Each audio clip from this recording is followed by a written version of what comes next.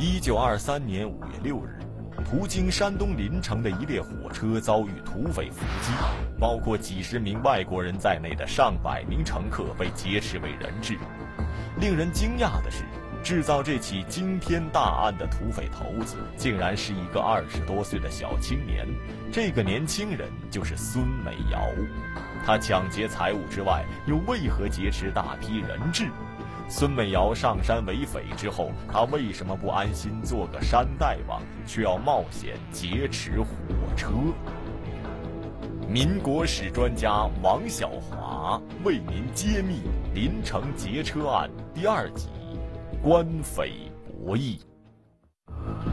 发生在山东临城的火车大劫案一出，震惊中外，上百名中外旅客被劫持，生死未卜。这让正处于内忧外患之中的北洋政府十分头疼。可是头疼的不光是北洋政府，实施这次劫持事件的土匪头子孙美瑶也很忧虑。因为枪打出头鸟，孙美瑶上山做土匪本来就与政府水火不容，他竟然又劫持火车绑架外国人，捅出这么大的篓子，简直就是把自己往绝路上逼。按理说，孙美瑶原本也读过书，是个聪明人，她不应该自找麻烦，干出这么一桩难以收场的大案。那么，孙美瑶明知不可为而为之的原因是什么呢？要弄清这个问题，还要从她上山做土匪之后的遭遇说起。今天，我接着给大家讲凌晨大劫案。有了武器以后。孙美瑶、孙美珠为了扬名立万，必须干出点事儿来。首先呢，他们把杨庄这个地方啊，是一个重要的一个据点，就是包围抱犊固南边的一个重要据点，叫杨庄。首先派人混进杨庄。杨庄呢，这个地方呢有很多民团，有一个大地主叫马世玉，家里呢养了一大群家丁和民团，正好挡在这个抱犊固往南去的这个路上。所以这个孙美瑶、孙美珠没有办法，他要发展就必须把这个据点拔掉，因此呢，就派人混进了杨庄。事情也巧了，这个马世玉啊，他家老太爷去世了，这个时候呢，各地的这些人呢前往吊丧，孙美珠的人马就混在吊丧的这个人群当中，混进了杨庄，趁机呢把人家的灵棚给他点了，这个时候呢。大家都在忙着救火的这个当中，孙美珠带人就把民团团部给他端了。马世玉这帮人呢也吓跑了。这个仗打得比较漂亮，所以这个孙美瑶、孙美珠啊，这个脑子就膨胀起来了。他认为他自己是无所不能的了。为了在山东立住脚，孙美珠啊下了一个大的决心，就是要打山东第六旅。结果呢，打胜没打胜呢？还真让他打胜了。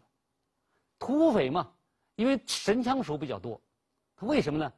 因为当时子弹非常贵，他不能随便打枪，所以他就要练瞄准。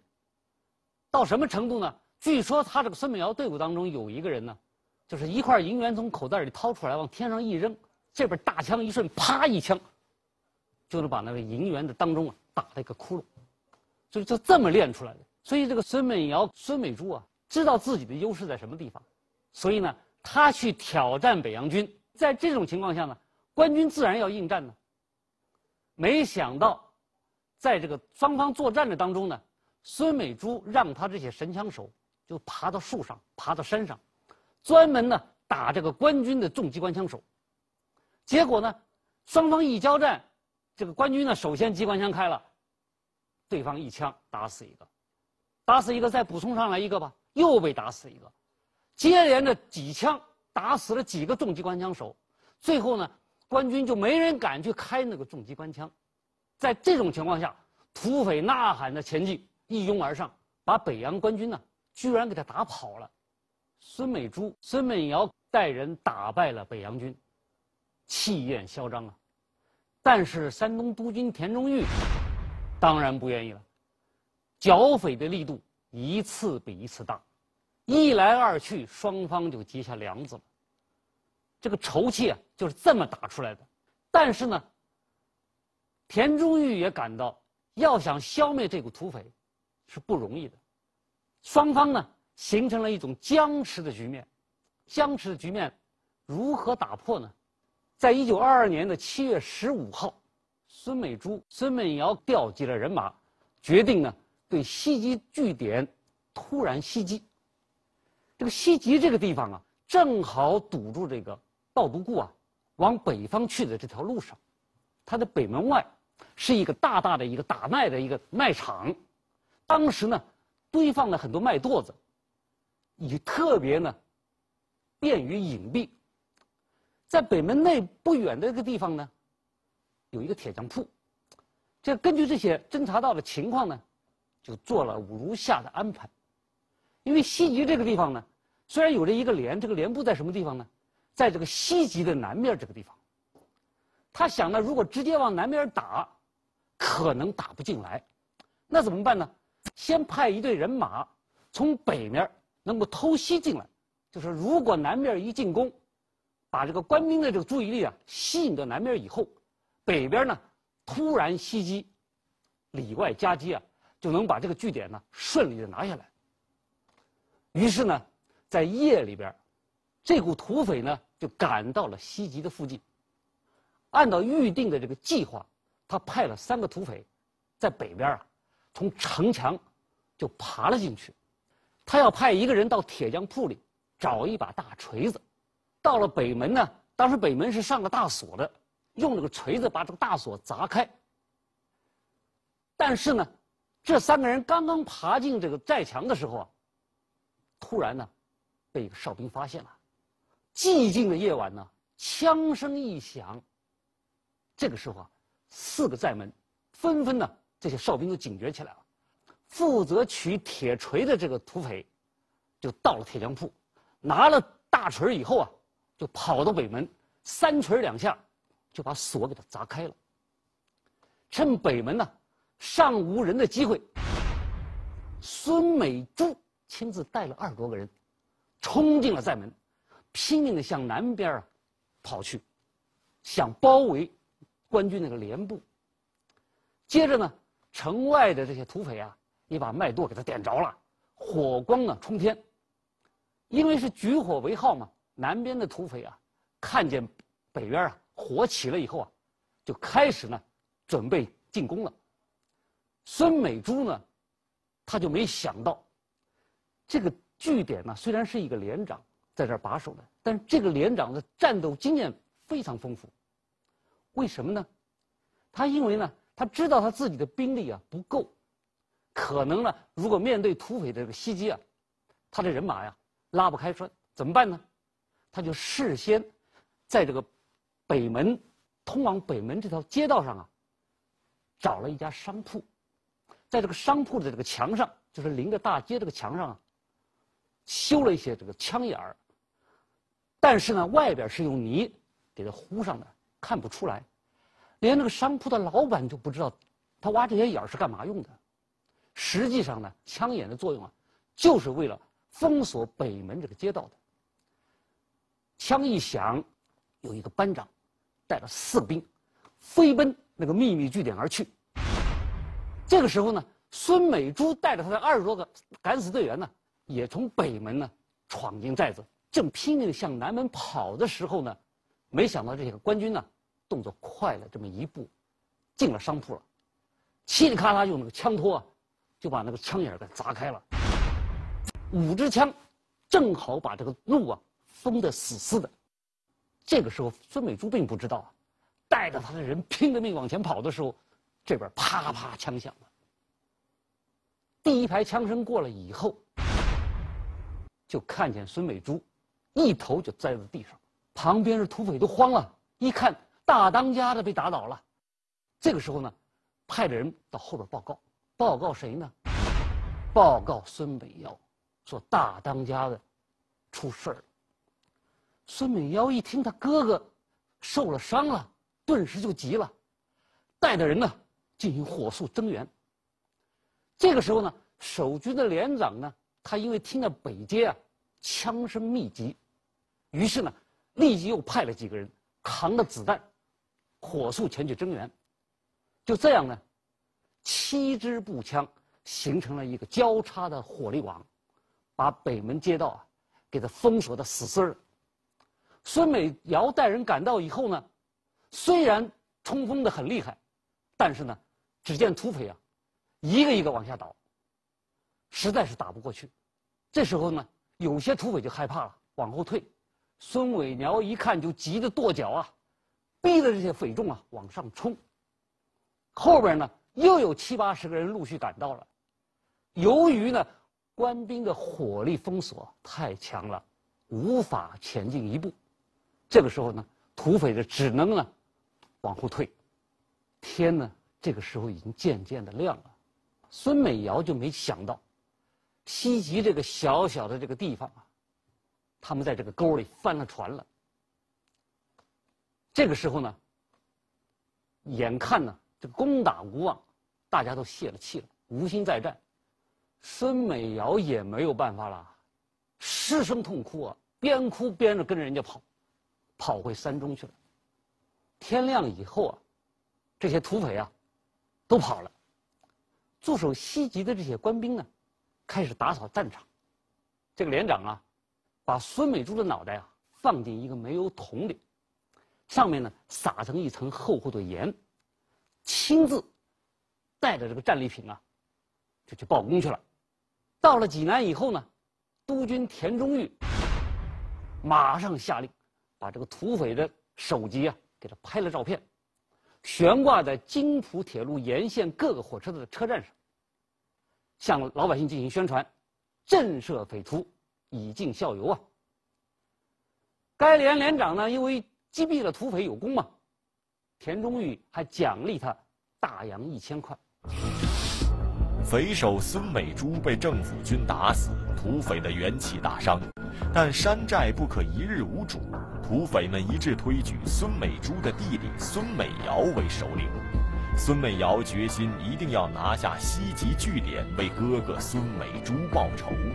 但政府军人多势众，孙美瑶的报仇计划还没有实施，他就遇到了更大的麻烦。民国史专家王小华为您揭秘《临城劫车案》第二集：官匪博弈。孙美瑶痛失亲哥哥，悲愤交加，他只有一个信念：我一定要报这个仇。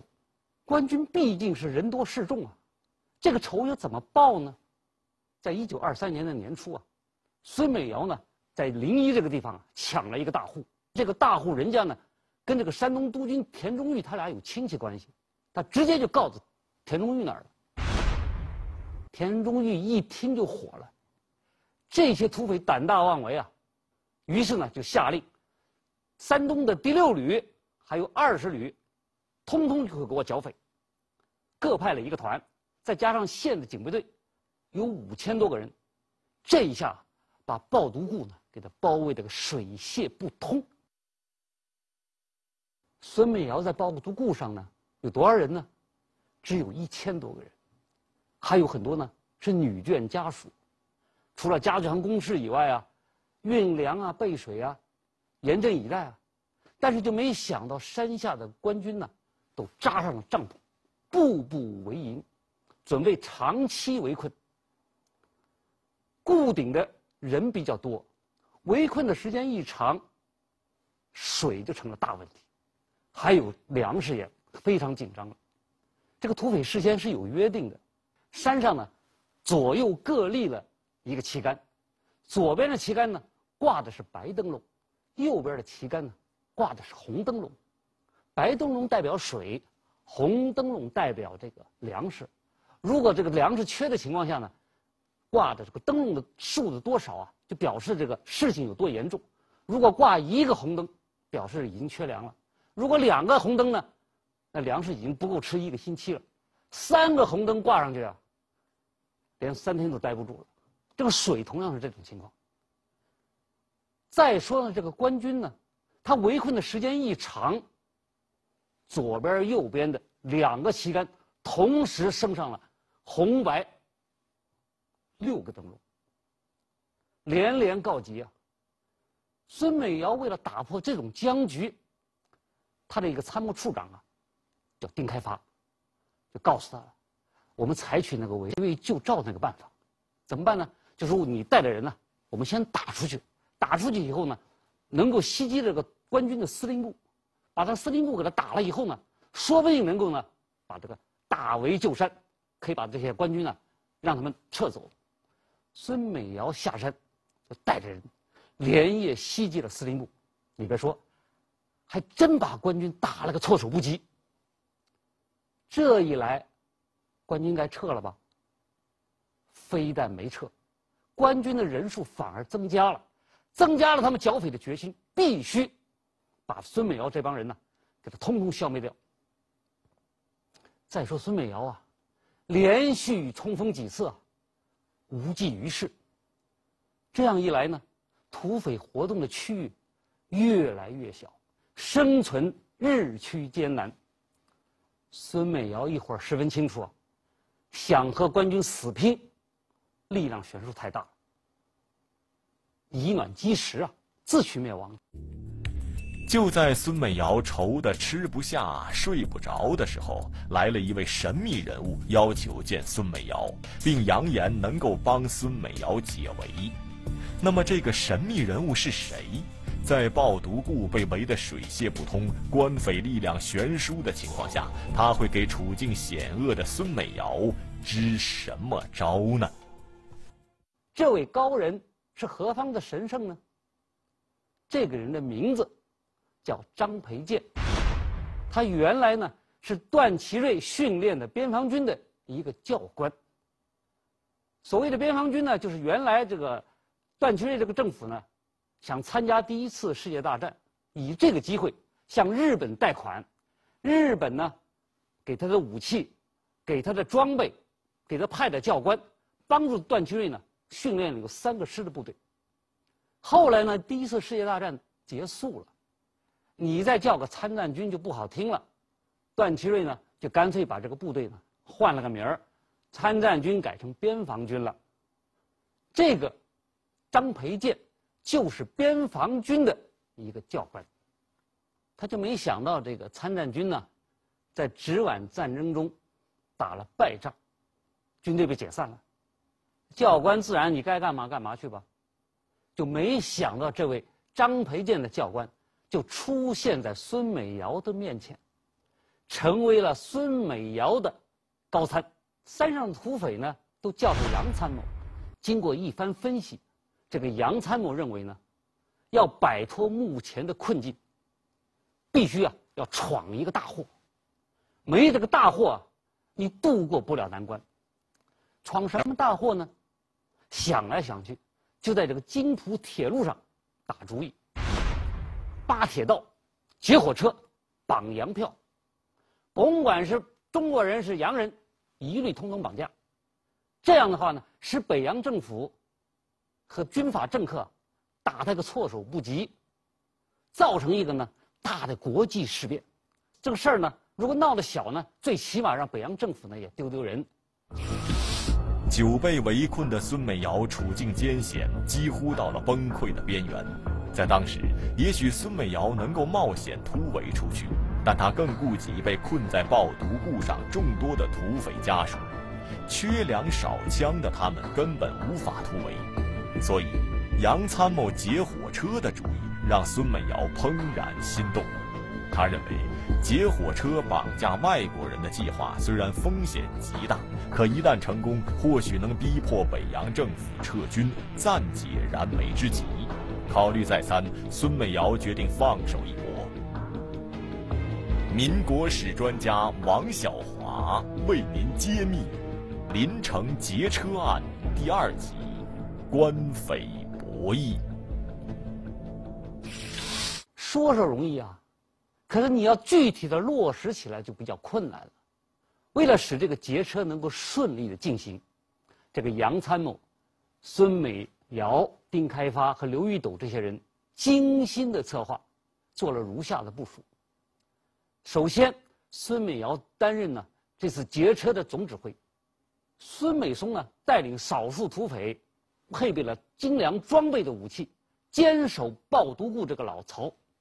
丁开发这个人呢，他武功非常好，所以他挑选了一些啊，就身强体壮、精通武术的这些人，带着短枪进行劫车。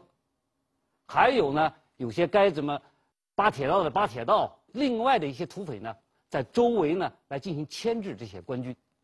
这个计划呢，布置的相当周密。在当时，尽管土匪老巢抱独固已经被政府军包围，但土匪们利用熟悉山区地形的优势，借着夜幕的掩护，他们还是成功的钻出了包围圈，秘密潜伏在临城火车站附近的铁轨两侧，准备动手。经过侦查，他们把这个劫车的地点选择在临城和沙沟车站之间。时间呢，就在一九二三年的五月六号，劫的车次呢，就是从浦口开往天津的第二次快车。因此呢，这才有了凌晨劫车大案的发生。这个事件发生以后啊，这个山东的枣庄这个地方，成了各方啊谈判的一个中心点，就山上的土匪。和官军派的人呢，都在枣庄这个中心煤矿这个地方呢，来进行这个谈判。刚才说过了，山上是缺水缺粮，为了给被劫持到抱独固上的这些，包括洋人，提供这个物质供给啊，上海的美国商会和红十字会组织了一个救援团，到了枣庄。根据呢。一九二三年五月十号，《申报》的记载，五月九号呢，美国在上海的英文的《大陆报》有一个记者呢，叫李思白，就到了这个枣庄。这个人呢，曾经被这个孙美瑶啊，在五月六号抓住过，后来三个小时以后他自己跑了。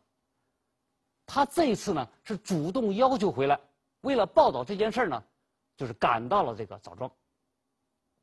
他代表呢美国商会，还有红十字会，携带了大量的药品、食物、衣服等等日用品啊。就是到了枣庄以后呢，跟这个土匪进行联系以后，设法呢接济山上的洋人。当时啊，北洋政府专门开了一辆列车，就停在枣庄，供呢谈判人员。以及西方各国救援人员呢临时办公，这个火车呢离这个抱独固有多远呢？有二十公里的山路。起初啊，这个美国人他雇了十七个劳动力，每天往这个抱独固啊运送生活的物品。后来呢，逐渐发展到有三十五个人。孙美瑶劫走了这么多中外旅客，北洋政府感到非常棘手，怎么办呢？如果采取强硬的态度，派兵进剿，怕危及外国人的生命安全，再产生更大的国际纠纷。如果你不打他吧，又担心呢会助长土匪的气焰。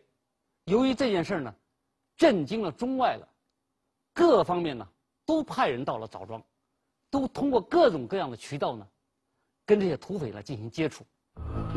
临城劫车案震惊中外的轰动效应，也是匪首孙美瑶始料不及的。之前他面临被围剿歼灭的险境，现在政府主动找他谈判，局面一片大好。孙美瑶看到，他不仅达到了劫车解围的目的，似乎还能借此大捞一笔。孙美瑶或许认为，当年他上山做土匪是被逼无奈，他并不想一辈子做土匪。所以他提出，政府不仅要解除围剿，还要将自己的土匪武装收编为一个旅，并要任命他为该旅旅长。由于北洋政府担心引发国际纠纷，忌惮上百名人质的生命安全，政府当局不得不考虑接受孙美瑶的这个要求。但后来，孙美瑶却变卦了。在这种情况下。孙美尧可以谈判的筹码就太多了，所以呢，就不断一次一次的要求。一开始是要求改编成一个旅，后来呢，居然要求改编成两个旅，而且呢，这个旅的这些军饷啊都要十足的给，这个北洋政府他就接受不了啊。但是呢，时间长了，这个外国人的生命安全是受到威胁的。有不少外国人写信啊，下山告诉山下的人说他们患了重病了。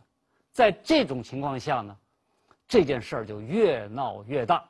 面对如何解决临城劫车案，北洋政府内部啊，也产生了重大的分歧。有人主张安抚，答应土匪的条件；有人呢主张强攻，这些土匪呢必须消灭不可。在这种情况下，大总统又如何抉择呢？至于呢，这个官军和土匪之间，他们这个谈判能不能达成协议？孙美瑶闯了这样的大祸，他是否能够全身而退？这些问题啊，咱们明天接着再说。感谢收看法律讲堂，再见。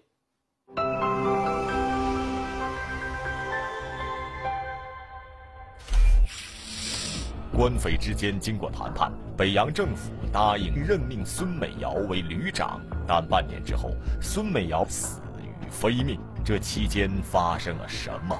透过林城劫车案探寻幕后隐情，有迹象显示是日本人促成了这起惊天大案的发生。